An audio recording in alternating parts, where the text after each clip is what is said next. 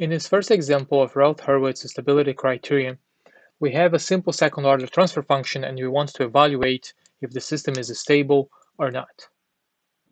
Let's just start by creating a Routh array, which in this case starts at the power of 2. We have s to the power of 2, s to the power of 1, and s to the power of 0. Now we can fill in the coefficients of the polynomial in that up and down pattern, starting with the highest order, that is 2. So the first coefficient here is coefficient of s to the power of 2, that's 1.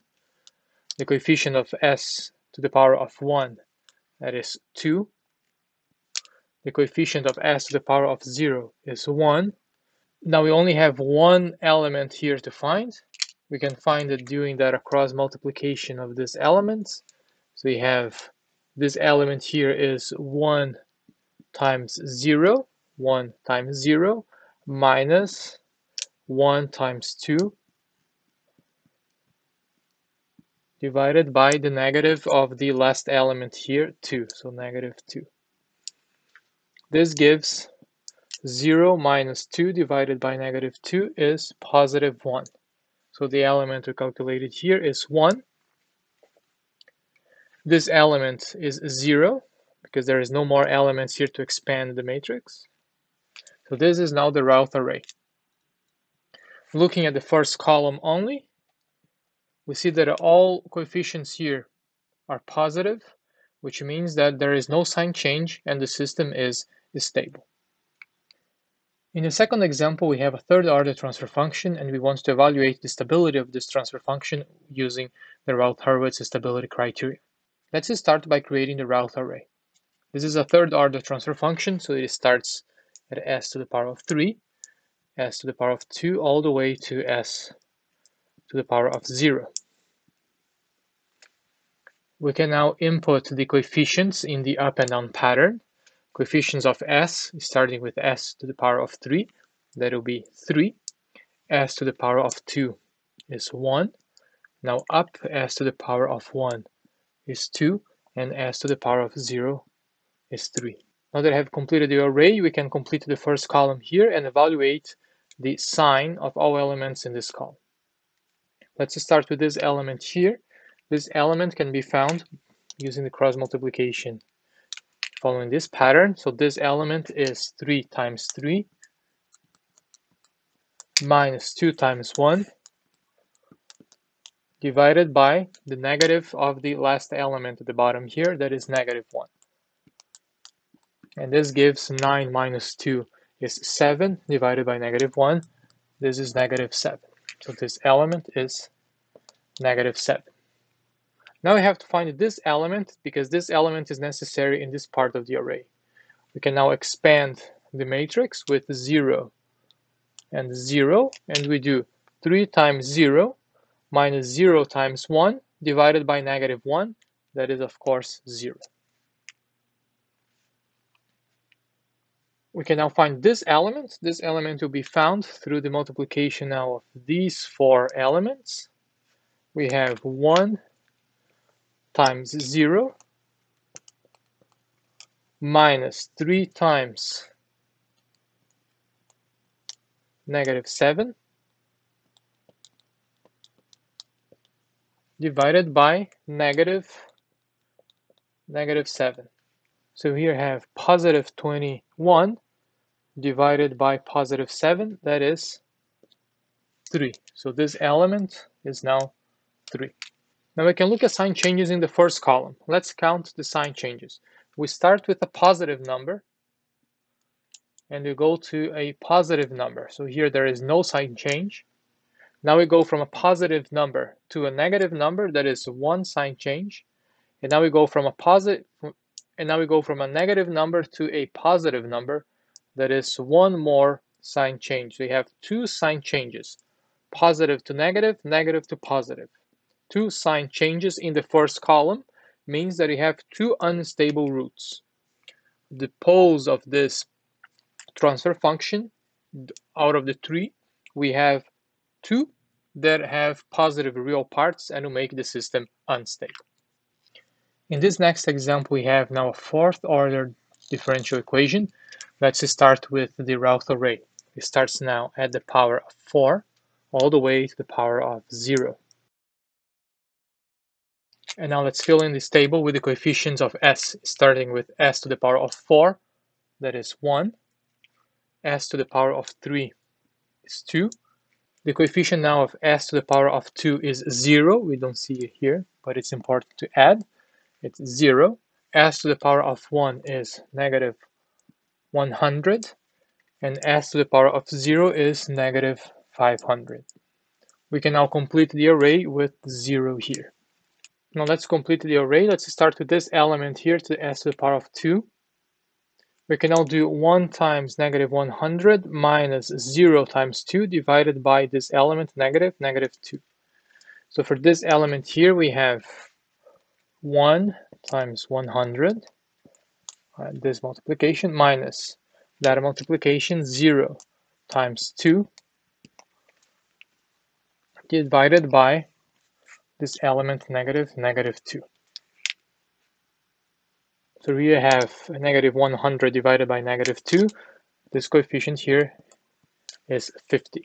Now let's find the element next to 50 here. In all other examples, we had 0, but now we have an extra column that we can use to calculate this element.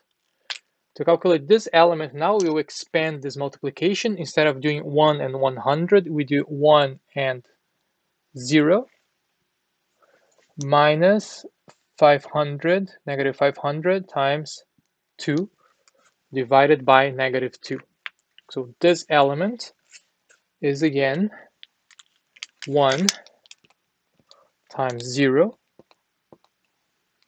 minus negative 500, careful with the signs, times 2 divided by negative 2 which gives negative 500. The next element here is 0. There's no need to calculate. If you expand the matrix once again with the next column here, next column is 0. This element here is 0. We can now move to s to the power of 1. To calculate s to the power of 1, we now go down and take these two rows here. So s to the power of 1 here, we have this multiplication between these four elements which will be 2 minus negative 500 times negative 500 minus negative 100 times 50 all divided by negative 50 and this gives negative 80 this element here is negative 80 now moving on, we need this element. You can now expand to take this, this column and that column. We now have the multiplication between this element minus the multiplication between this elements divided by negative 50 again. So for this element, we have 2 times 0 minus 0 times 50 divided by negative 50, and this is 0. Of course, the next element is again 0. The last one here, easy to calculate. Now we have these four elements to consider to calculate the s to the power of 0 here. So we go with these four guys, 50 times 0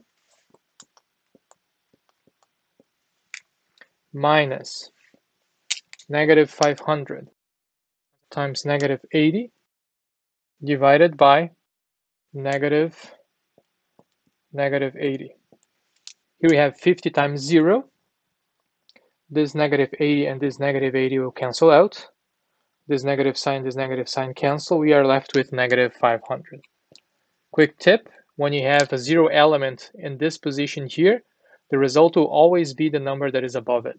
Okay, so this now is the completed array. We don't need these two numbers. Let's evaluate the stability of this system. To evaluate the stability, we need to look at the first column and count the sign changes. Starting with 1 to 2, there is no sign change. We have positive to positive. From 2 to 50, positive to positive, 0 sign changes. Now from 50 to negative 80, we have one sign change. From negative 80 to negative 500, we have no sign change, zero, negative to negative, no sign change, so plus zero there. We have one sign change. The system is unstable with one unstable pole on the right side of the S-plane. In this last example, we have a fifth order polynomial.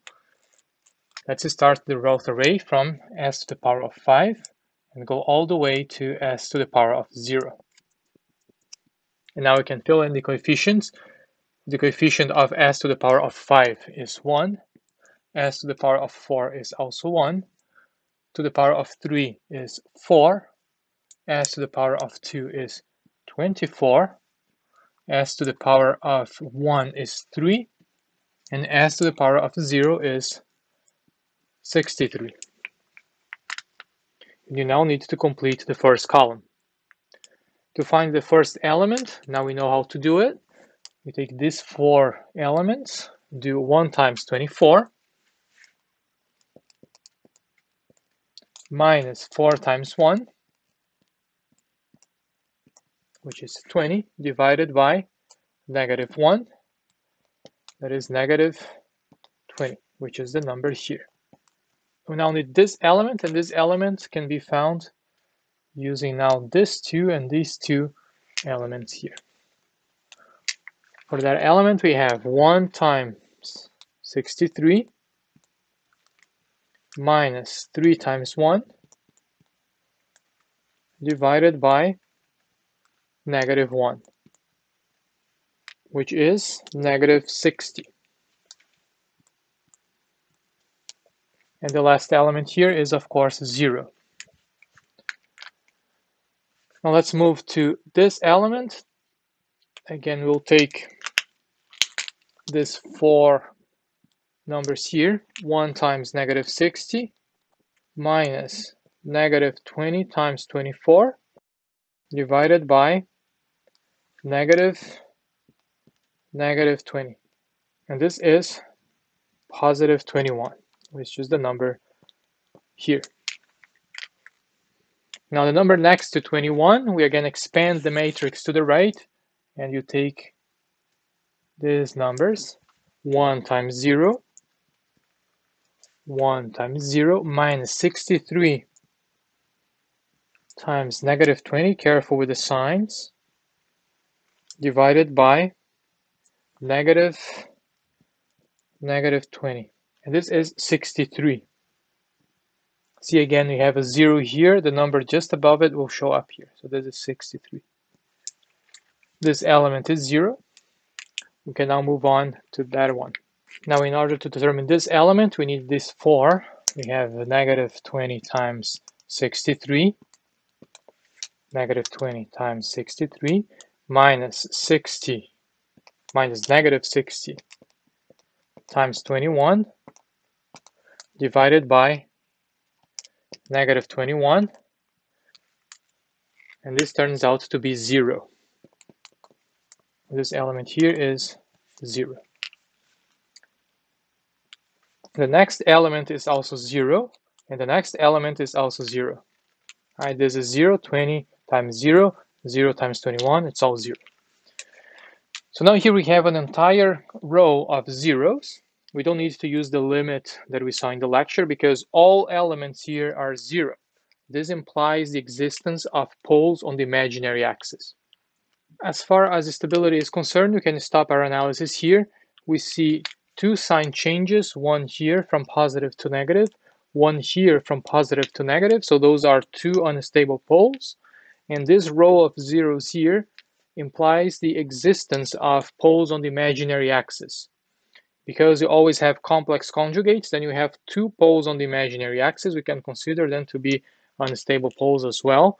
This will lead to four unstable poles.